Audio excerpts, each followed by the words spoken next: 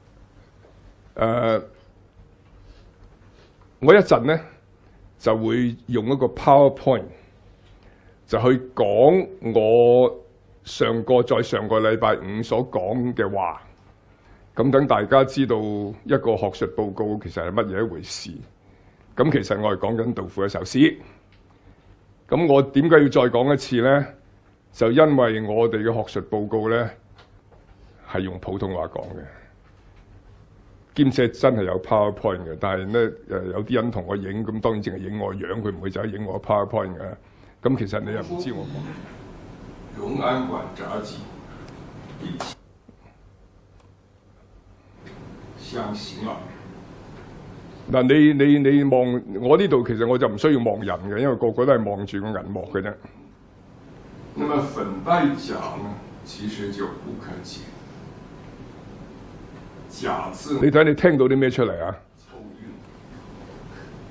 前人以粉黛甲指木偶，那么每人两句的意思呢，就是那个宫女已经化为呃黄土，更何况木偶？这样讲呢，好像也不太科学化，因为肉身。一定比木头腐烂的快，而且快很多。所以钱钟书就把这个粉黛甲解释为侍女遗像，再不是木偶，而是土偶了，那就腐烂的快一点。但是呢，我们不要忘记，特进宋国公萧瑀。和司空、梁国公房玄龄都死在玉华宫。特进是正二品的散官，司空是正一品的军事官，国公是众一品爵而且萧雨、房玄龄都当过宰相。是国之栋梁，他们的死，杜甫只字不提，就是说，公理之死重于名臣之死。那么我们的诗圣是不是太过性格不分？不过我认为，南宋的著家可能都犯了我们常犯的病。就是以为医生是男的，巫师是女的，美人当也当然也是女的了。难道美人不可以是男的？大家看看屈原的作品，《楚辞·离骚》：“惟草木之零落兮，恐美人之迟暮。”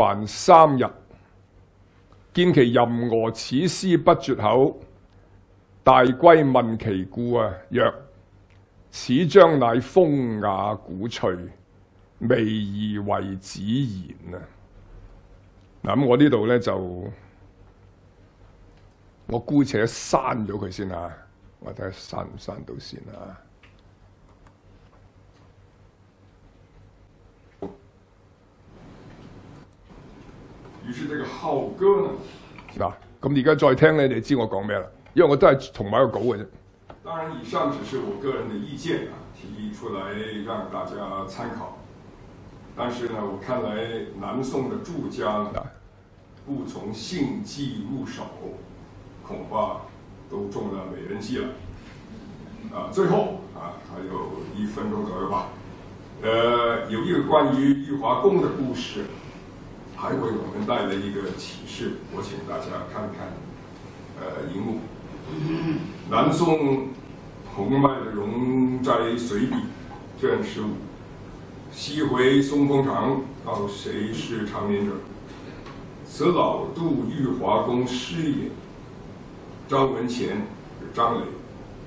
暮年在冤丘，何大归方若冠，往夜之。”三日，见其因而此事不绝口。大归请其故，曰：“此章乃风雅鼓吹，未意为此言。”也就是说，这首诗的内容太深奥你不会明白。那既然张磊知道玉华宫是风雅鼓吹，他就应该来一个风雅传承，那可能他当时还没解决粉黛假这个问题，所以就要唬年轻人了。那这个故事呢，是 真是假，我们当然不知道。因为何大贵十八岁考中进士，啊，非常的早熟，没什么会听不明白的。那不过。我们生也有涯而知也无涯，尤其是当我们教书的，总会遇到一些一时之间没能回答的问题。所以张文贤古人的方法呢，啊，出世也不失为一道不错的缓兵之计吧，也是一个好办法。在世呢，可能就做法自毙了。都给各位老师。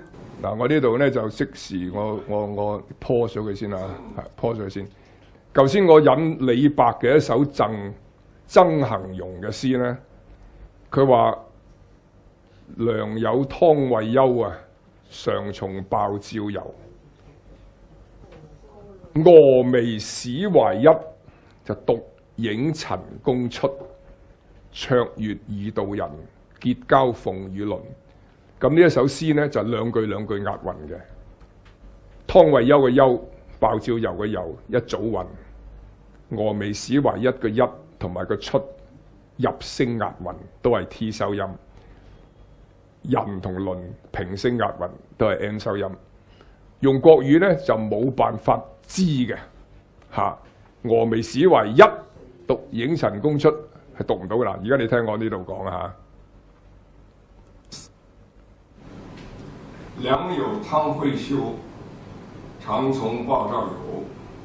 峨眉始怀意，独应陈公出。